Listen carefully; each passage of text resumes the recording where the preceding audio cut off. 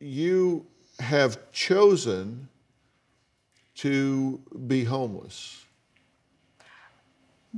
Not really, but um, I've been staying with friends. The friends you meet at the Facebook, total strangers are friends, you're right. Um, I don't really feel comfortable with him being here.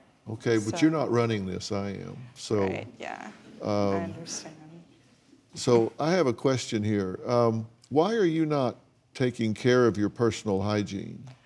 Um, I am, that's his opinion. I mean, When wouldn't was the last time so? you had a, a bath or a shower? Um, like about yesterday, pretty much. So, yeah. And where was this? I'm at the hotel we were staying at. And were you there when this took place? We had separate rooms. Her idea of a shower is not a shower. What's your idea of a shower? Getting in the water and what most people would consider a shower, I guess. Uh-huh. So. And how she often, just- how often do you to be, shower? Um, about once every other few days, but I mean, That's not true. I'm not really comfortable with him being here, so. No, that. you are the star of Here, the you show, got, don't you got something behind you there, so you need to either leave that or take it with you, one of the two. Okay, that's fine. I'm not surprised. Yeah. In my opinion, she's either lying to herself or she's actually delusional.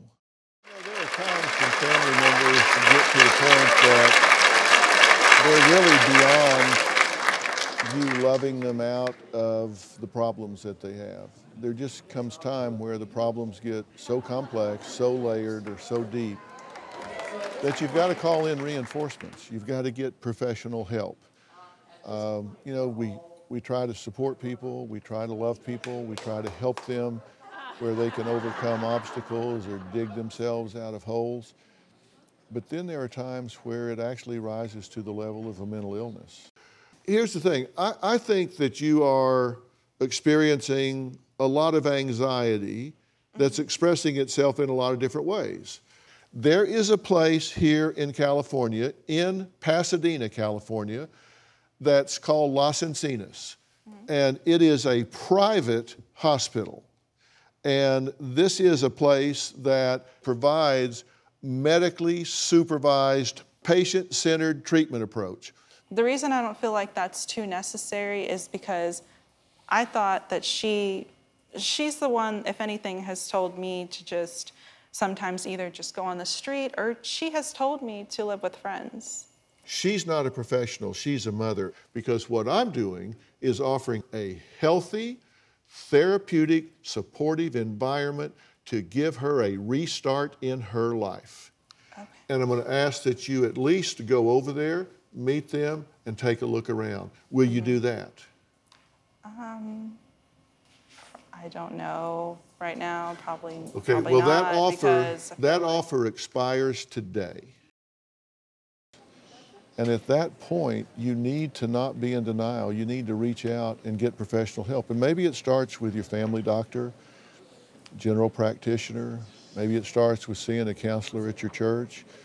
Maybe it starts with your neighborhood corner psychologist or whatever. But when you are faced with that, it doesn't get better with time, it gets worse. So act on it quickly because habits have a way of entrenching themselves, and the longer people live that way, the harder it is for them to redefine things. So if you're in that situation where you're just not living in a functional way, or somebody in your family is not, acknowledge it, reach out, get help for it. Don't let days turn into weeks, weeks turn into months, and months turn into years while somebody wastes away their life energy. Get the help you need.